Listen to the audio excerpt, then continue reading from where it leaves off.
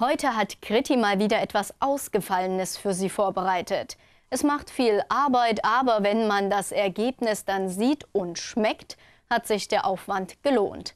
Außerdem passt es im Gegensatz zu den herkömmlichen Backwaren auch genau in die jetzige Zeit. Viele beginnen mit dem Fasten oder achten ganz einfach mehr auf gesunde Ernährung.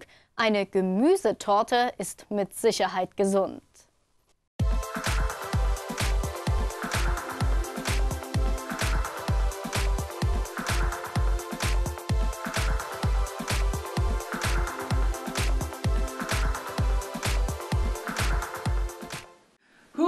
Hier bin ich wieder. Ich begrüße alle ganz recht herzlich. Ich hoffe, Sie gucken wieder gesund hier rein. Und ich habe ja gesagt, gesund. Wir wollen es heute mal gesund starten. Die ähm, Gemüsetorte. Jawohl, eine Salattorte. Jeder wird sagen jetzt, okay, eine Salattorte. Heute wird es sportlich. Sie sehen, es ist eine ganze, ganze Reihe an Gemüse aufgefahren. Aber ich denke, wir kriegen das schon irgendwie hin. Es gibt andere schlimmere Probleme als eine Gemüsetorte, oder? Wir starten einfach mal, was wir alles brauchen. Wir brauchen 200 Gramm Pumpernickel, dann brauchen wir einen halben Salatkopf Eisbergsalat, so zwei, drei Möhren, zwei solche Stängel Lauch. Sie können alles gerne verdoppeln, um eine größere Torte zu machen. Das kommen wir dann dazu. Dann brauchen wir eine halbe Dose Mais, ein bis zwei Paprika, wenn man möchte, eine Handvoll Rucola, eine halbe Gurke, so fünf, sechs Radieschen und zum Ausgarnieren zwei, drei hart gekochte Eier, etwas Käse klein geschnitten, Schinken, alles wer möchte. Was wir dann brauchen, ist ganz wichtig, unsere 30 Gramm Gelatine. Die weichen wir mit so circa 80 Milliliter kaltem Wasser ein, müssen sie dann im heißen Wasserbad auflösen. Dann brauchen wir nochmal 200 bis 300 Gramm Frischkäse, das tun wir mit 200 Milliliter Milch. Nehmen Sie Vollmilch, nehmen Sie 1,5er Milch, das ist völlig Ihnen überlassen. Und gut würzen. Sie können auch Frischkäse, gleich den Kräuterfrischkäse nehmen. Schön alles vermischen und vermengen. Und dann die heiße Gelatine, wenn sie aufgelöst ist, reinrühren. Also, wie gesagt, und wenn es doch ein bisschen klumpt, alles nochmal ins Wasserbad und lösen Sie alles nochmal auf. Da passiert gar nichts. Na, da dazu. So, und jetzt geht's auch schon los. Wir nehmen unser Pumpernickel her. Ich nehme eine kleine Springform, weil manchmal ist es vielleicht doch besser, eine kleine zu nehmen. So von 20, 22 cm Durchmesser. Und wir geben das alles schön rein. Und Sie müssen wirklich darauf achten. Drücken Sie es schön an. So. Wenn es heute viel aussieht, es wird schon sportlich, ja, das gebe ich zu, weil es ist viel und es ist ja nicht ganz ohne immer vielleicht mal so einen kleinen feuchten Lappen parat halten. Dann geht es auch schon weiter mit unserem Eisbergsalat.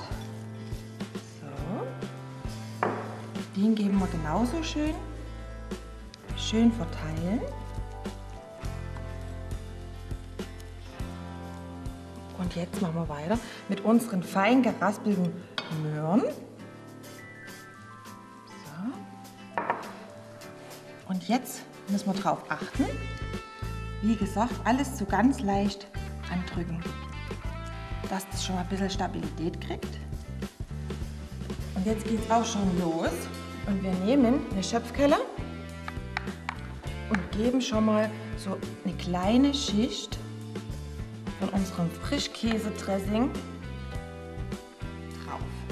So, stellen wir wieder beiseite. Und jetzt gerade geht ja die Fastenzeit los. Heute ist zwar Faschingsdienstag. Normalerweise hätte ich Pfannkuchen machen sollen, aber die kommen noch. Wir hatten ja erst Fettgebäck, aber das tut dem Ganzen keinen Abbruch. Das wiederholen wir alles. Weiter geht's mit unseren Lauchzwiebeln. Lauchzwiebeln, wer sie mag, mein Bruder hasst sie wie die Pest. Ich sag immer, ich mach mal, wenn du kommst, eine schöne Käse-Lauchsuppe, so ein bisschen spaßig. Sagt er nur, klar, die macht das, naja. Und eine schöne Zwiebelsuppe, ne? Hm? Aber ich sage einfach, so ein bisschen Zwiebel gehört einfach immer mit dazu. Und Sie sehen, ich drücke das alles schon ein bisschen wieder hier rein, sodass das an Bindung gewinnt. Weiter geht's mit unserem Mais. Wer nicht mag, einfach weglassen, was anderes da dafür ran, auch kein Thema.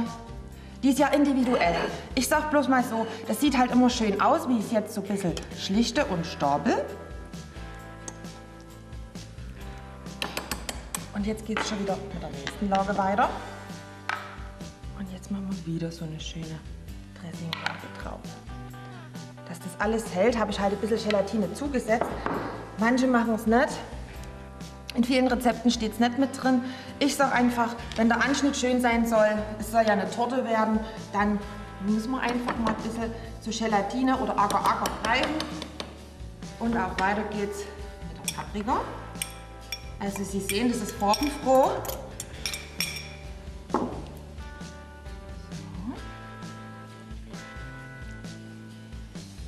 Alles schön.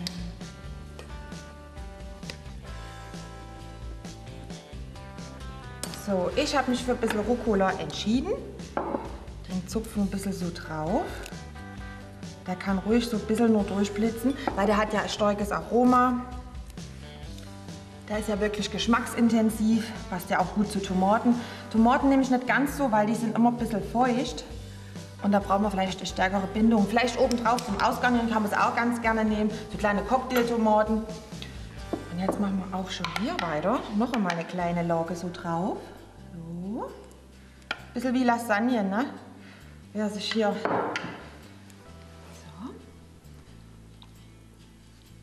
Nur, dass man die vielleicht bewusster hier essen kann. Also und jetzt äh, fangen wir schon an. Jetzt nehmen wir unsere schönen Gurken.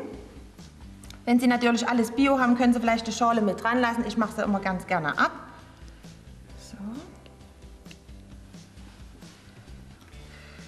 Ja, heute schlichten wir keine Erdbeeren auf. Heute schlichten wir Gurkenscheiben auf. So.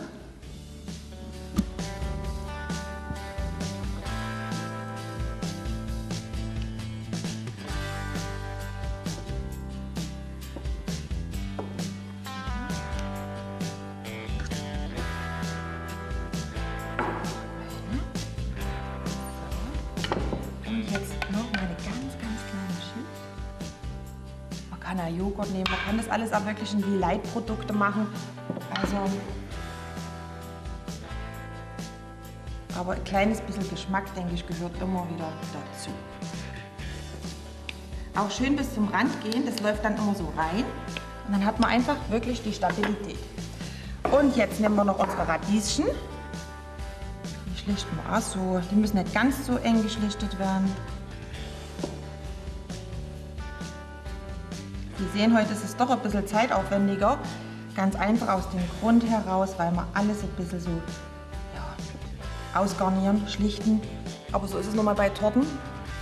Egal, ob man jetzt eine Erdbeertorte hat oder eine Cremetorte. Sobald ein bisschen was geschlichtet wird, wird es ein bisschen zeitaufwendiger.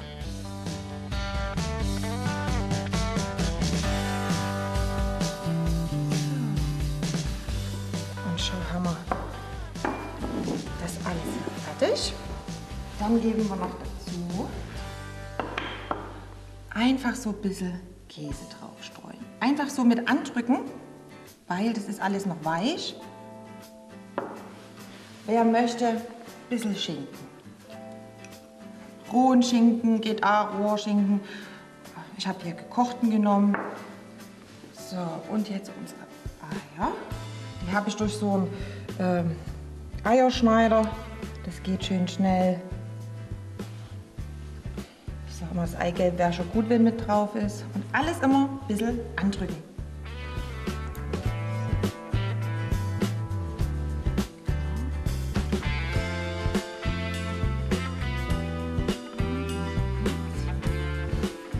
So, und dann, was machen wir noch? Was schönes Grünes. Unser Schnittlauch. Die nun mal einfach mal so ein bisschen zu raspeln. Und entweder wir legen den so, ein ganz kleines bisschen drauf zur Deko, oder wir machen den so klein, auch kein Problem, können wir auch machen. Wenn das Ganze jetzt ein bisschen noch angedrückt wird, so, hält es dann richtig gut. Und dann müssen wir noch ein bisschen würzen. Einfach noch mal so ein bisschen Salz oben drüber. Wie gesagt, das Dressing müssen Sie schon schön kräftig machen, weil es ist ja Salat und ein bisschen Pfeffer drüber.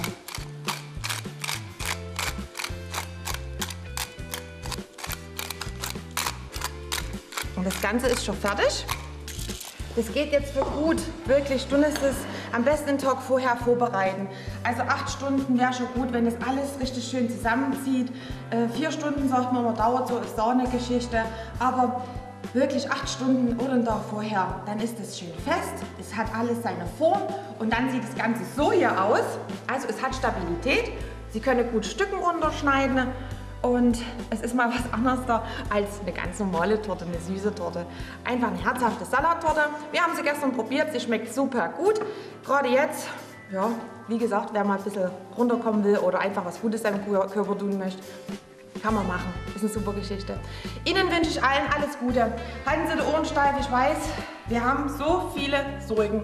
Und uns geht es doch eigentlich allen so gut. Ich verstehe es mittlerweile nicht mehr. Ich hoffe, wir bleiben alle gesund. Bis zum nächsten Mal. Tschüssi, eure Grit.